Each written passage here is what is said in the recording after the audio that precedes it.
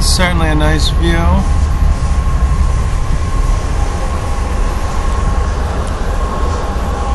So here I'm in the first class, business class of the uh, Surfliner train. Got a little mobile office.